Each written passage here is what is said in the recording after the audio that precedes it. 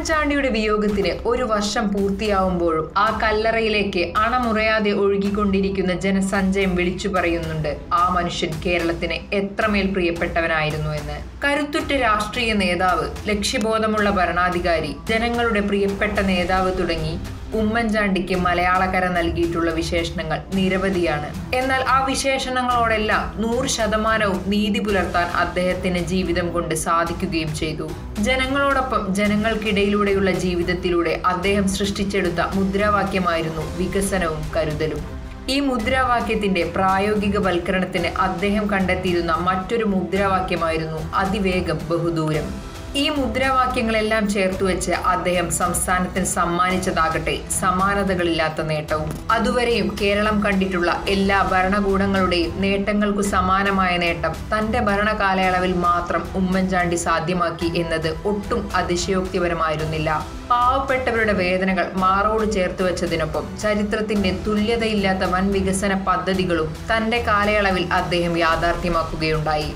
അദ്ദേഹം അധികാരമൊഴിഞ്ഞ് ഒരു പതിറ്റാണ്ടിനടുത്തെത്തി നിൽക്കുമ്പോഴും ഉമ്മൻചാണ്ടിയുടെ വികസന സ്വപ്നങ്ങളിൽ അള്ളിപ്പിടിച്ചിരിക്കുകയാണ് ഇന്നത്തെ ഭരണാധികാരികൾ എന്ന് കാണുമ്പോൾ ആ നേതാവിന്റെ കാഴ്ചപ്പാടുകൾക്ക് എത്ര ആഴമുണ്ടായിരുന്നുവെന്ന് മലയാളികൾ ആലോചിച്ചു പോവുകയാണ്. ഓരോ ഫയലുകളിലും ഓരോ ജീവിതങ്ങളാണെന്ന് തിരിച്ചറിഞ്ഞ ഭരണാധികാരിയായിരുന്നു ഉമ്മൻചാണ്ടി. ഭിന്നശേഷിക്കാർ അംഗപരിമിതർ ആലംബഹീനർ അങ്ങനെ സമൂഹത്തിന്റെ പുറമ്പോക്കിലേക്ക് വലിച്ചെറിയപ്പെട്ട മുഴുവൻ ജനവിഭാഗങ്ങളുടെയും അത്താണിയായി അദ്ദേഹം നിലകൊണ്ടു. സാധാരണക്കാരുടെ ദുരിതം അകറ്റുന്നതിനു വേണ്ടി ഭരണാധികാരി എന്ന നിലയിൽ ഭരണകൂടത്തിന് എന്തു ചെയ്യാൻ കഴിയുമെന്ന അന്വേഷണത്തിന് അദ്ദേഹത്തിന് ലഭിച്ച ഉത്തരമായിരുന്നു ജനസമ്പർക്ക പരിപാടി. ജനങ്ങളെ നേരിട്ട് കാണുകയും അവരിൽ നിന്ന് പരാതികൾ സ്വീകരിക്കുകയും കഴിയാവുന്നത്ര വേഗത്തിൽ അതിന് പരിഹാരം കണ്ടെത്തുകയും ചെയ്ത് ലോകത്തെ അദ്ദേഹം അത്ഭുതപ്പെടുത്തി.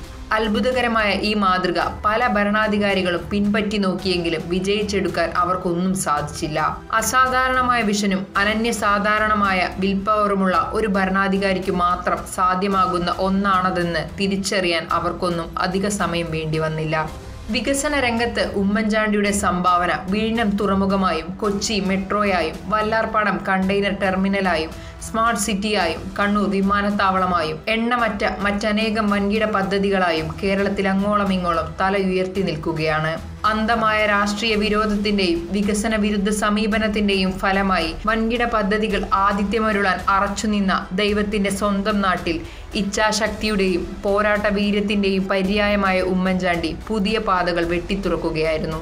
വികസന രംഗത്തും കരുതലിലുമുണ്ടായ ഈ തേരോട്ടത്തെ തടഞ്ഞു നിർത്താൻ ചരിത്രത്തിൽ തുല്യതയില്ലാത്ത വിധമാണ് അദ്ദേഹം വേട്ടയാടപ്പെട്ടത്.